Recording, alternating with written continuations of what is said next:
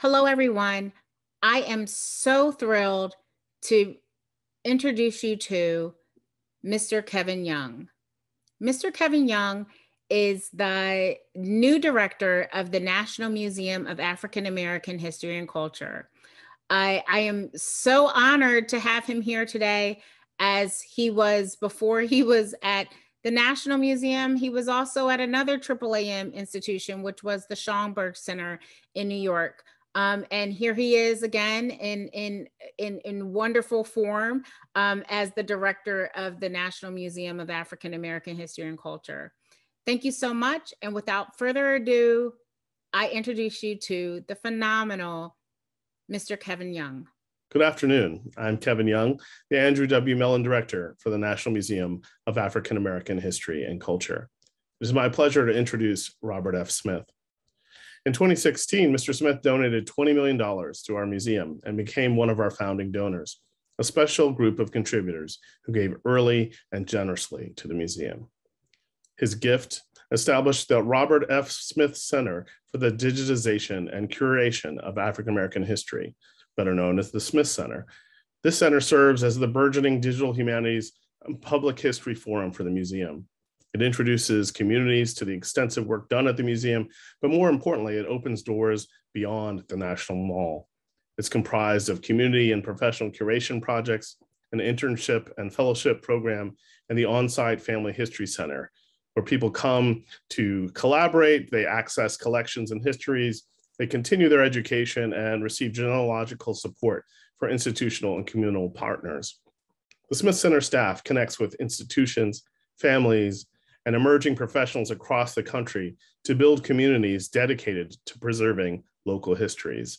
And they've welcomed tens of thousands of visitors to their in-person and digital programs over the last five years. Now, five years ago, Mr. Smith's generous gift initially ensured we had a physical space in the museum dedicated to guiding visitors through genealogy research. And this Smith Center is so important for that.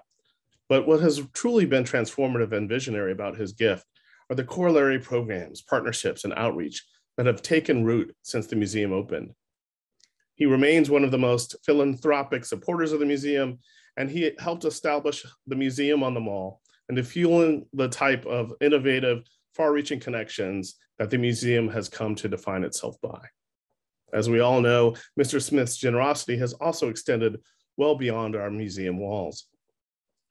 From paying off student loans for the graduating class of Morehouse in 2019 and beginning an initiative to help all HBCU students pay off their student loans, he's promised to continue his visionary and innovative philanthropy throughout his lifetime, signing the Giving Pledge and committing to giving the majority of his wealth to philanthropy.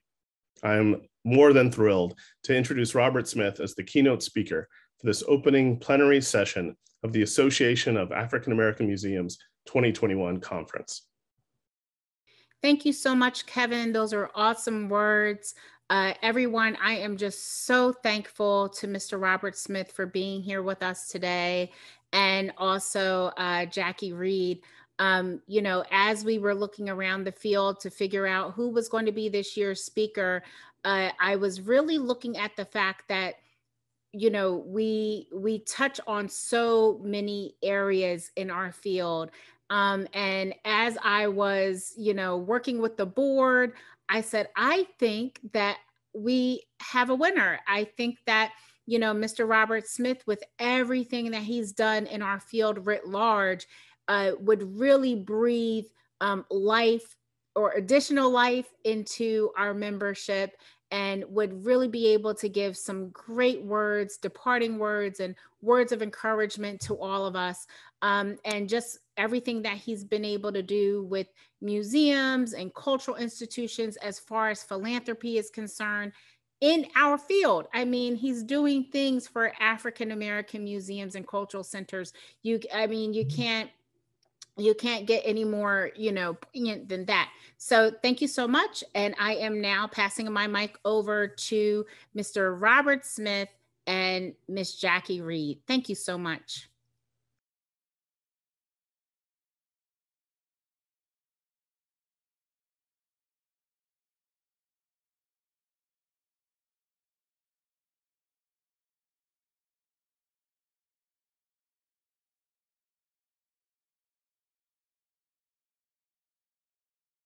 All right, everybody. This is such a, ple- a pleasure for me. Robert F. Smith, we are going to have, you know what? I heard somewhere that you really prefer having a conversation, and so do I. So let's just have a conversation today. Sounds good. Good to see okay? you.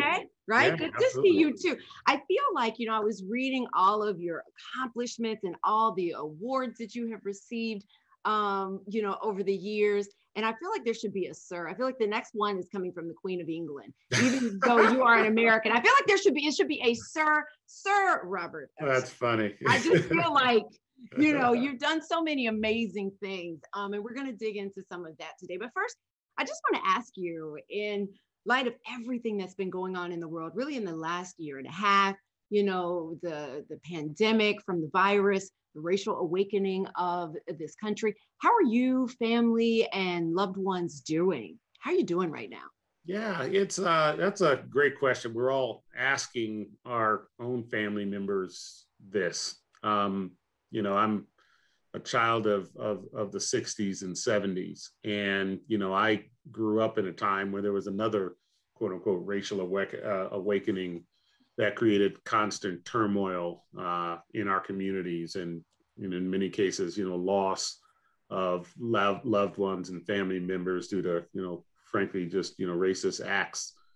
And, you know, I, I see and feel that same uh, environment today with my own children and having our conversations and what is you know giving them you know uh, anxiety or what's giving them hope and having these conversations is an important thing but also taking action is is even more important so you know i see i see us uh, you know realizing the importance of the beloved community right you know this community where we are looking after each other. And it's not just a physical looking after an economic, but it's an emotional looking after of each other and checking in.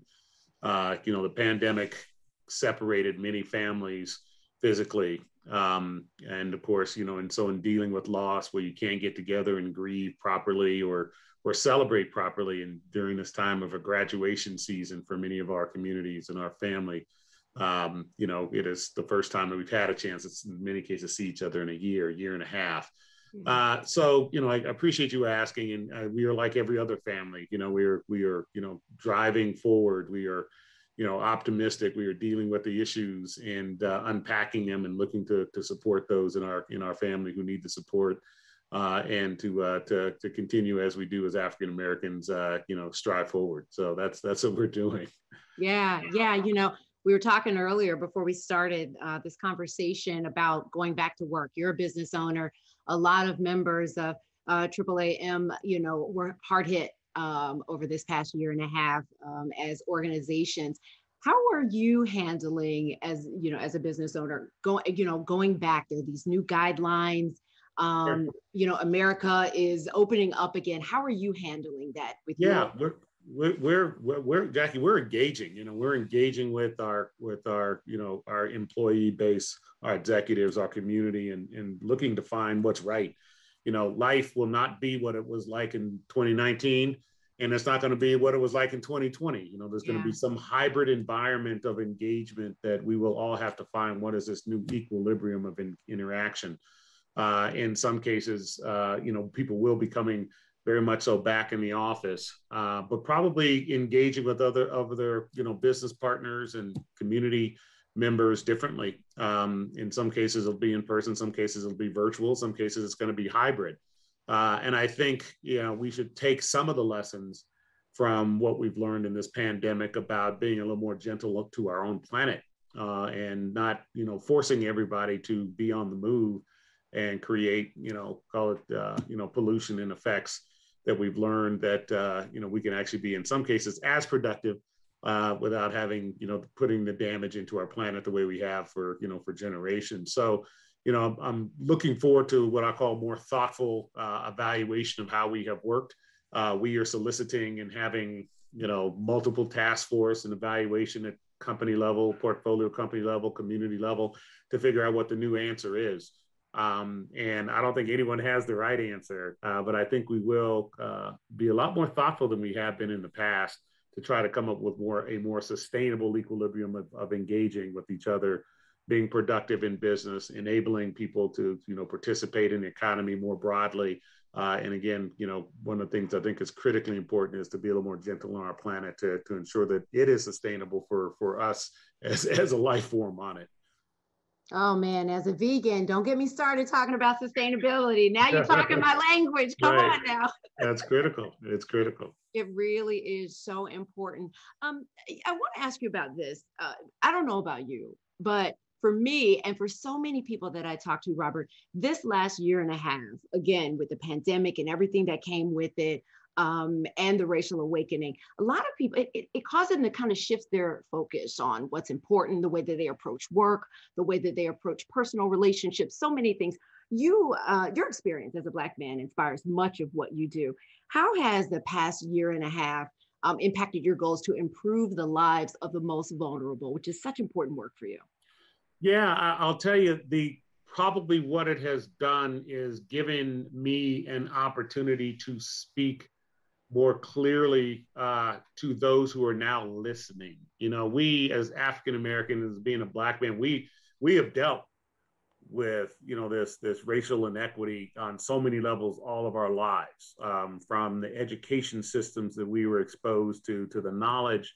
Um, we'll talk a bit about that that that that was presented to us about who we are, our place in this country, our place in the world, our place in society uh, and then how we had to navigate forward uh, in higher education through the job market, through the professional market in many cases, through the labor market in other cases, uh, you know, through just driving back and forth to work or to school or to the airport or just, you know, with, with your family and dealing with some of the challenges there um, in the over policing of, of many of our communities. So our lives in many respects um, you know, didn't change that much on the one hand because we've always dealt with it. But what has happened is, you know, with with the murder of George George George Floyd, Breonna Taylor, and others uh, caught on film, you know, created an awakening that for uh, us it opened ears, and there was a more empathy, I'll say, and people saying, well, well, wow, I didn't realize. Uh, and so the task of myself and others in you know, uh, in, in our community was now to use this as an opportunity to promote uh, awareness and action uh, to eliminate some of the disparities. Uh, and frankly, I call them the deserts in our community. You know, there's broadband deserts, education deserts, food deserts, healthcare deserts. And now, how do we drive resources into our community that are sustainable to enhance you know the overall quality of life uh, for African Americans uh, in particular. So that's what this has done is created you know an openness to listen by corporations, by policymakers, and and I'm hopeful that that they embrace a number of the you know the the activities that have been put forward from the Latimer Plan to the Student Freedom Initiative, the Two Percent Solution, Six Cities Initiative. All these things I think are really driven towards improving the quality of uh, African American life and frankly, what that does is actually improve the overall GDP uh, opportunity in America and stabilize America uh, as, a, as a more creative force and, and for so that we can capture the economic opportunity in this fourth industrial revolution. So all those things are elements that we're just taking advantage of, given now we have uh, an awakening and, and, an understanding of folks that you know these disparities are not sustainable. Yeah, absolutely. Well, a lot of folks um, here at AAAM are excited about um, how important you know preserving history and culture is to you. They know, I'm sure, that you're a major donor to the National Museum of African American History and Culture, um, and you've been quoted as saying your goal is to preserve African the African American experience. Why is the work of AAA members so important? You know, it is it is critical that people are able to frame themselves uh, in the communities they live and in the country in which they they are they are you know living and looking to thrive. Um, you know, I grew up. I'm fourth generation from Colorado, and you know when I say that, a lot of East Coast people say, "I didn't know there were black people in Colorado." Well, people are now learning for the first time about uh, Greenwood and Tulsa, Oklahoma. So if you look at you know my family, my you know family's history and extended family, you know we you know, migrated from with the Cherokees, with the Choctaws, from you know, you know, into Texas, into Tulsa, into Greenwood, and then through the tragic massacre that occurred, ended up in Pueblo, Colorado, then moved up, you know, four generations ago into Denver, Colorado. So, you know, part of why the work is so important because I'm just I was, you know, growing up knowing all of this, I'm just amazed that people are hearing about it for the first time. Yeah. That's why that work is so important. You know, because if you lose the history of what has happened to our people, uh, then, like you said, you know, you're you're stand to repeat some of the atrocities as opposed to building in systems to ensure that that never happens, and frankly, that we have a chance to participate and thrive uh, going forward in this democracy. So, you know, it growing up out here, I had the great benefit of the oral history of tradition. We had the Black, you know, uh, American West History Museum and and while it wasn't necessarily taught in the schools, it was taught at home. It was taught, you know, in the barbecues. And, you know, as you heard about your relatives and, you know, who owned, you know, a billiard uh, uh, uh, um, business in, in Greenwood or a hardware store in Greenwood or the, you know, and you hear about these things, that gives you some sense of uh, place uh, and it gives you some sense of, of culture. Uh, and it also gives you some sense of inspiration about you know what you can do if you live in what I call these beloved communities where you're supporting each other in business and commerce and in, in education and health and I mean that's what you think about and you hear about as you grow up in these communities that I found that you know many people who I went to school with back east and others had never heard of this before and it was just shocking to me so you know the work uh, that you know that that historians, and I'll say that you know historians that are framed in you know the African American uh, Museum uh, construct. It's that work of those historians that is so critical because that is what actually drives uh, you know the the culture, and it captures our culture, it captures our stories, and it gives our young people something that they can point to and say, now here I'm going to propel from there as opposed to having to think they have to start over uh, each and every time without the with the without the context of history. So the AAAM is a critical, um, you know, instant organization uh, to bring you know to bring that capacity to our people uh, across the United States. And everybody's got different stories, but we need to be able to share those stories and and and draw strength from them. Uh, and and use those to, to really inspire uh, us going forward. So, Robert, just quickly before we get into what you're doing now, I just want to kind of get a little perspective on what planted this seed uh, for preserving history and heritage. So I want to explore your family history a little bit for those who don't know.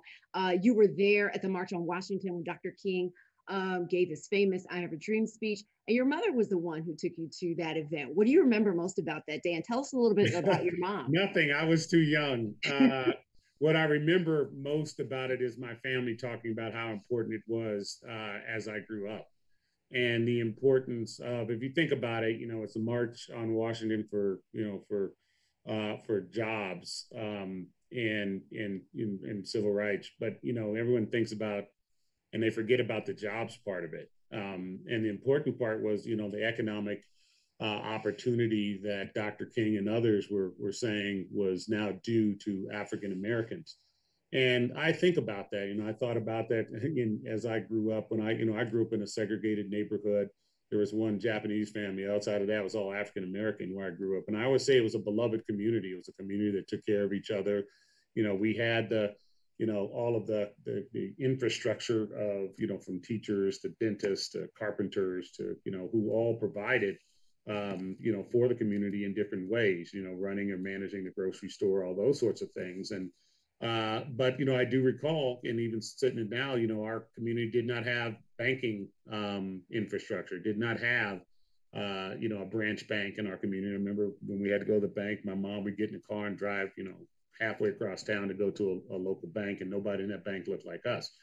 And, you know, a big part of what's important and informs me is, you know you've got to create sustainable ecosystems in these communities in order for them to thrive so you know beyond uh, you know the, the the importance of my mother and father and the way that they they not only dedicated their time in their professional life as teachers but in their after school and weekends to serve you know the YMCA to serve for the you know the, the what was then the, uh, the the civic association to serve uh, in ensuring my mother, you know, would write these checks to the United Negro College Fund every month, uh, and saying that you're part of a bigger and broader community, and you know, part of your responsibility uh, is to do your part to contribute. Uh, in some cases, people's part was to look after the kids when they came home from school when they before their parents came home from work. In some cases, it was reading to them, teaching to them. In some cases, it was teaching a group of us about rocketry. None of these people got paid or to play the piano. You know, these people, you know, some cases got paid, but not a lot. But part of what they were doing was was you know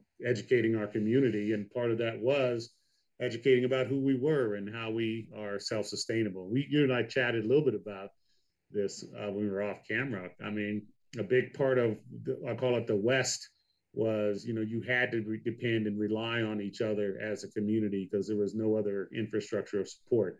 And i think that self-reliance uh, you know became a part of our dna and and that is a big part of what what has made uh, our community strong in these uh, in these parts of, of the us yeah. Well speaking of dna let's talk about the robert f. Smith explore your history center at the national museum of african american history and culture what was your vision uh, for setting that up? Sure. You know, the, the world of technology enables so much. Um, and when you think about it, you know, part of what we seek as people, all people, they want to know where they came from and what is the stories that led to them being who they are and where they are. Uh, and, you know, what this center is designed to do is to create an onboarding of these stories and the connectivity and the pictures and the history and start to link more with what we have in various databases that are available. And if you think, you know, you keep going, and if you think about every family contributing their story, because literally, you know, you have in, in dimensions of capacity around it. Uh, and those stories can be oral histories, can be, you know, the, the genealogy. But then you start to contribute pictures. Now, think about this. You know, I'm in Colorado and I start contributing pictures, and maybe three people in the picture that I know and one person in the picture that I don't know. Mm-hmm. Um, I know these three, this is my uncles and aunts, but who is this one person? Well, you know, over time, you can actually look at some, use some artificial intelligence and match that picture with some other picture. and Say, oh, wow, that is someone else. And you figure out that your family may have had a relationship with that family, you know, two and three and four generations ago. Uh, that then starts to ex- expand uh, a lot more about you know who you are in the context of what you're doing today. So that's what the theory the, the, the theory is of what's what's designed today. We've had you know I think you know 60, 70 virtual sessions in the last year, over 25,000 visitors. And part of what we're looking for uh, is to digitize, you know, the work that you know our parents and grandparents and great grandparents had in terms of pictures or videos or movies, and then start to curate that content in a way that creates more uh, more uh, connectivity. You know, the connection of the diaspora ultimately, and they'll give a repository of a place where we can all go, some physically and then ultimately, you know, virtually, to go explore more about ourselves and the communities that we lived in, or the communities that our parents lived in, or great grandparents, and, and give some color and texture to all of that. So we see the richness. You know, we've been talking about Tulsa, now all of a sudden videos are showing up of the life in in Greenwood. Um, you know, for many of us, we saw that, you know, years ago, but now people for the first time are realizing what a prosperous African American community looked like 100 years ago. Those are the sorts of expressions and experiences that that all Americans should have access to, and it's our job uh, and the curators of that, as as you know, the AAAM is to contribute to that in a way that we all can benefit in the entire ecosystem, and not just individual instances of, of, of repositories of information. Yeah. Well, in, in order for the members of AAAM um, to continue this important work, fundraising is key, Robert, and you are a master at fundraising. And I wonder if you could just share some tips for these organizations when it comes to fundraising. What advice would you give, um, you know, to these members? It is important to demonstrate the value uh, to those who are contributing. What is it that they're contributing towards, uh, and to be efficient. Um, you know, donors, and I, I, think you know I'm a member of the Giving Pledge, and you know yes. I have an opportunity to to spend time with, you know, some of the I'll call it the the biggest philanthropists in the United States, and what they're looking for is value. They're looking for what does this dollar lead to on the one hand, and also what is the efficacy, the efficiency by which you're going to use this this capital. And it isn't just hire more people. Okay, jobs are important, but it's also how you're going to leverage, you know, technology to expand the reach. Um, you know, I've been doing some some work uh, myself and Fund II Foundation, for instance, and partnering with the National Parks Foundation. Mm-hmm. And what we've been able to do is now beyond preserving historical monuments in places like the birth home and life home of Martin Luther King or Frederick Douglass or Carter G. Woodson, Harriet Tubman, you know, Booker T. Washington, the Pullman Museum is also now say, okay, how do we do a digital overlay? And how do we create an overlay so that people at that park uh, actually are having different levels of experiences, not just walking through and seeing it, but using their technology, which might be their their their cell phones, et cetera, that bring those experiences to life and help people get greater context around what was happening, what was occurring, and what were the you know the inspirational moments or thoughts or or, or dynamics associated with the people who have charted you know uh, some of the direction of who we are as a nation, these African Americans. So you have to invest in the resources of, of, building out and preserving the, the environment, i.e., the physical infrastructure. Okay. But you also have to say, here's where we're now going. And here's what we're going to do in, in leveraging digital technologies to, to expand the experience set. You know, the younger generation, now that they are digital natives, uh, they don't necessarily have the, the, desire to visit every one of these places.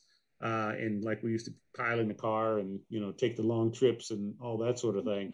Um, but, you know, they need to have access from where they sit, meet them where they are, which is why we do things like Black History in Two Minutes, uh, where we're actually able to, to provide, you know, short content that is, you know, call it, you know, fact packed, accurate historical perception or perspectives of who we are in this country and then when they go to these locations, they can now start to expand upon what exactly happened and what occurred and how that can inspire them. So it's important for uh, you know museum uh, uh, curators and managers to to really demonstrate the value, but also lean forward and think about what is the new museum. Uh, I always tease Lonnie Bunch about this, uh, who now, as you know, is the secretary of the of the uh, Smithsonian Museum as Ilana, you know, if if the museums aren't alive, then they just become temples. And part of what we need to do is make sure these museums are alive and bring the voices uh, to life. And using technology is, I think, an efficient way to do it. Yeah, I love that. I'm just thinking about those days when you piled in the car for a family trip and there's like chicken and foil and all oh, yeah. cold oh, yeah. chicken and foil. right and the pickle jars, yeah. yes, yes, come on oh, now. oh yeah. Well, listen, as a graduate of an HBCU, I, I proudly graduated from Clark Atlanta University. Uh, I was very excited, as so many folks were, with what you did, uh, erasing that student debt for those that graduating class at Morehouse College. And you do a lot of work um, for students, particularly students of colors, um, at HBCUs. Why is this such an important work for you and your organization? Yeah, I think, you know, we we all have to realize that, you know, we are in the early stages of the fourth industrial revolution. And unlike the last three industrial revolutions, this one's going to move a lot faster. And it is going to enable those who participate in it to accelerate, and those who don't will be left further behind. And it is critically important that we create the on ramps for African Americans uh, in particular to participate in this industrial revolution. We didn't participate in the other three in a meaningful economic upside opportunity way, but we have to do it here.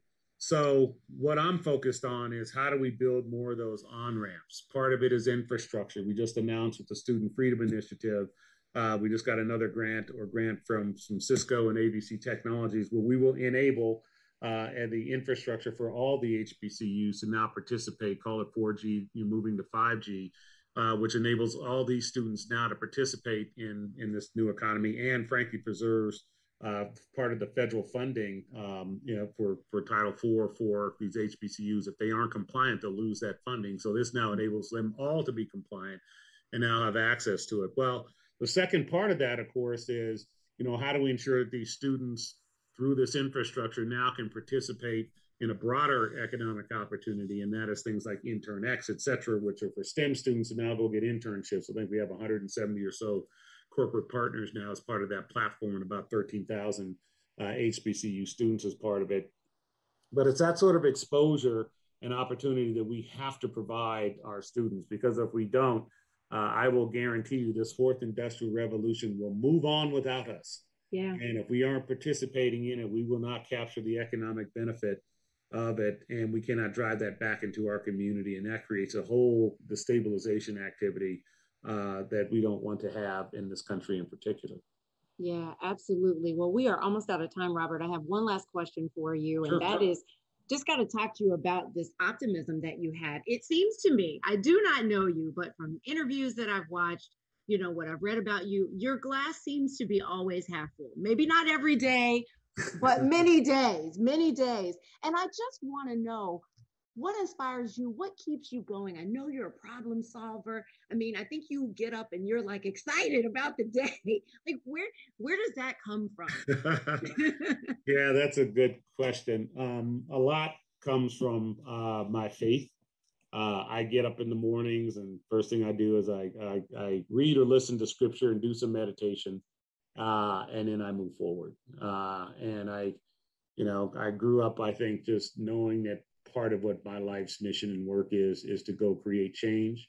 And you have to find the inspiration and your truth that helps you do that. And that's where i find mine. And you know it is uh, it is true and it, and it is inspiring and it is uh, a never ending source and so that's how i do it it is true. That is a never ending source. Well, sir, as I'm going to call you, Sir Robert F. Smith, it has been such a pleasure um, talking with you here today. You're such an inspiration. So thank you for your time. Thank you, Jacque, so much. And again, to the to the community of AAAM, uh, I would just say keep doing your your your work. Uh, it's critical and important that our youth and our people know who they are uh, and know how valuable they are and help them understand how to create more beloved communities that we can all thrive in. So thank you for your time and, and thanks for all your support. Hi, Robert. From the entire team of the Robert F. Smith Center for the Digitization and Curation of African American History, we say thank you. Thank you for your support for the preservation of community archives and local history. And we are extremely excited about our partnership with the Association of African American Museums and the Smith Center. And we are thrilled that you are part of it today. Since 2017, the Smith Center has partnered with communities across the country, helping families to preserve their most fondest memories and helping institutions make their collections more accessible. So far, we've been to Baltimore, we ended in Chicago, and in between, we visited your hometown of Denver, Colorado. We've also been working in our local communities here in the District of Columbia, Virginia, and Maryland area.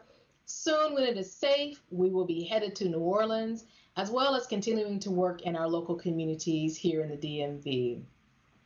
Our emerging professionals have interned across the country including at our beloved historically Black colleges and universities like Bethune Cookman University, Tuskegee University, and Morgan State, as well as other institutions across the country like the Stagville Historic Site in North Carolina, the Heinz Center in Pittsburgh, Pennsylvania, and the Maine Historic Society. And when COVID hit, and we were all quarantined, and when the social and racial unrest showed us that we needed to be available to our communities, we turned over the community curation platform so those families and institutions could upload their experiences during that difficult time. And Robert, it is just the beginning. With our new director on board, Director Kevin Young, and his vision to be more engaged with communities, as well as his emphasis on the digital present, we know that this center will be leading our charge in digital humanities, working to raise up the next generation of scholars in the field, working to do more in genealogy. We know that we will be taking a lead in that discussion.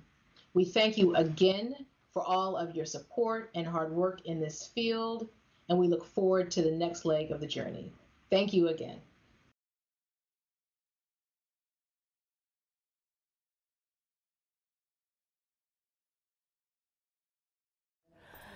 Um, yeast rolls were, you know, the thing um, in our family, and I thought it had died with her. And um, so when uh, it showed up, you know, in this box, when it showed up in this box, I was very happy. I was very, very happy. My name is Lisa Daniels, and I brought Granny's recipes. Uh, my grandmother Shirley Hurd. She passed away in 2015. So I asked him, I said, does Granny happen to have any um, aprons? And he said, no. He said, there are no aprons, but um, there's that old recipe box sitting on the, on the counter in there in the kitchen. And I'm like, what? And he handed this to me, and I wept. I was Every individual, every family, every community has a story. At the National Museum of African American History and Culture, we want to give individuals, families, and communities the opportunity to share their stories with current and future generations. And through the Community Curation Program, we strive to do just that. The innovative program hosted by the Center for the Digitization and Curation of African American History, invites the public to have their personal flat items and audiovisual materials digitized by our expert staff. Photographs and tintypes, recipes and diplomas, audio recordings, and home videos. These are the things we hold dear, and taken together, our individual stories define our collective history. But these items have shelf lives that are shorter than one would think. By digitizing community materials and sharing the stories behind them, we can ensure that everyday American history is preserved. To bring the Community Curation Program to life, the museum collaborates with archiving institutions across the country. In 2019, the museum worked with the Black Metropolis Research Consortium and its member institutions to host community curation in Chicago. I started my work as an oral historian with family oral history, so I'm very impressed with what you've done here. At each stop, we hold free digitization sessions, workshops on genealogy and preservation, and many programs exploring the history and culture of the local community. In Chicago, those interactions led us to stories that were at once incredibly universal and deeply personal. And the Center for the Digitization and Curation of African American History is grateful that communities continue to trust us to preserve and share these treasures. And when I heard that uh, the opportunity to digitize all of this stuff and keep it in one place uh, was available, I could not come. So here I am um, with with what um, remains of that part of my history. And I get to share this with my granddaughter and my grandson